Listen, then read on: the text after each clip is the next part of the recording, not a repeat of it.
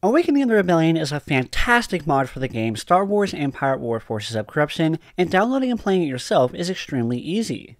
This video is a step-by-step guide on how to download and play the mod. To play Awakening the Rebellion yourself, first you're going to want to make sure you have access to the game Star Wars Empire War with the DLC Forces of Corruption. The easiest way to do that is through Steam. On the Steam store, search for Star Wars Empire War Gold Edition. This will cost you $20 but will come with both the original game and the DLC, as well as access to all of the mods for the game, which are completely free, so $20 is totally worth it.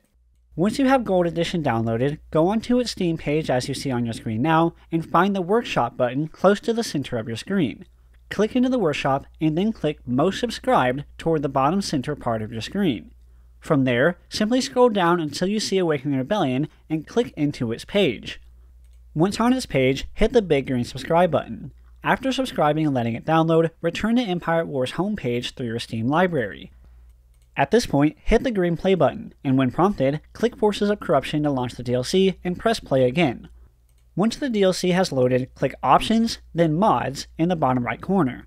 On the following screen, locate the Awakening Rebellion mod, click on it, and then click Select. After pressing Select, the Awakening Rebellion mod should boot up and you can play to your heart's content. If you have any questions, drop a comment below, and if you're looking for a video explaining the mod and all that it has to offer, click on the video linked on the screen now.